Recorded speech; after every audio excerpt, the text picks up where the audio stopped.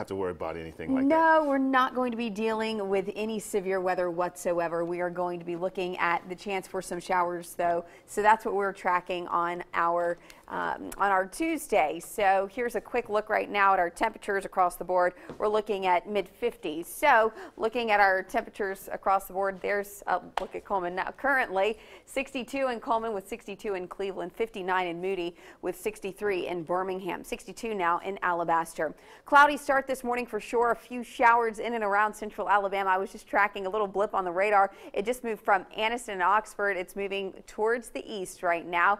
And I expect for that to dwindle here in just the next few minutes. But there is a long line of showers stretching from Nashville all the way into Tupelo, Mississippi, down through Jackson, Mississippi. That will continue tracking off to the east. So what I'm really focusing my attention on is the rain in Mississippi. Really anything to our north right now is going to stay to the north. Anything to our west, that is what's going to be moving into Alabama today. You can kind of see there, I put some arrows on the map where we can actually watch this rain as it tracks into the state.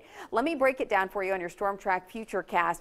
It looks like Futurecast is trying to make this thing fall apart. I'm not necessarily in 100% agreement with our model up, up updates simply because I think there's just a little bit more moisture in the air. So I actually think we'll see a few more showers than this.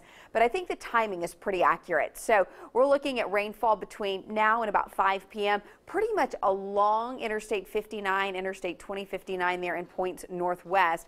And then after 5 o'clock, we could encounter some of those showers for your drive home. And most of that rain will slide south of Interstate 20 after sunset tonight. So I am calling for um, some almost redevelopment. I wouldn't call it an another wave necessarily, but we'll see that same line of showers kind of become a bit more reinvigorated early tomorrow morning.